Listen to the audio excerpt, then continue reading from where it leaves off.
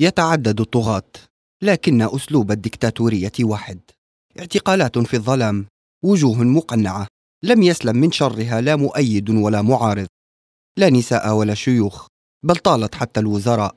ظلم وتعسف سلطوا على القريب قبل البعيد والصديق قبل العدو.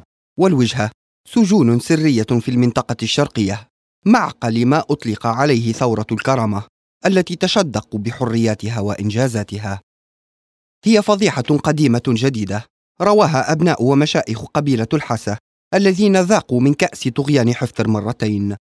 الأولى كانت حادثة اختطاف مقبول الحاسي المعلمة ذات الواحد وسبعين عاما في الرابع عشر من أكتوبر الماضي على يد عصابة مسلحة ترتدي لباس قوات الصاعقة بحسب شهادة ابنها لاعب نادي النصر أحمد الحاسي. أما الأخرى فتعود لوزير المالية بالحكومة الموازية كمال الحاسي الذي غيب في مكان غير معلوم من قبل جهة غير معلومة ودون توجيه أي تهم.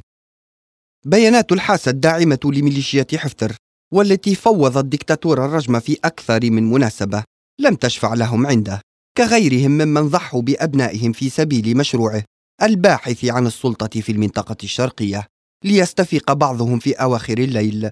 وفوهات البنادق مسلطة على صدورهم ويقتادون إلى مصيرهم المجهول في سجون حفتر التي لم تعد سرية كما كانت. هذه الممارسات تم فضحها في أكثر من مناسبة وأبرزها نقلا عن إحدى المحاميات في بنغازي والتي استلمت عدة قضايا إخفاء قسري واعتقال تعسفي دون تهم تذكر أو محاكمات عادلة.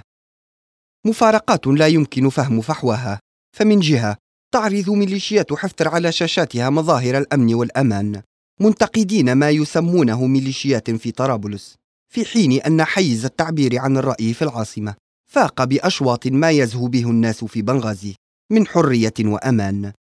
لكنهم معذورون فأذرع الجلاد طائلة وكل معارضة أو تمرد على الوضع يقابل بمصير مقبول الحاسي وسهام سرجيوة وغيرها من ضحايا الميليشيات الحقيقية.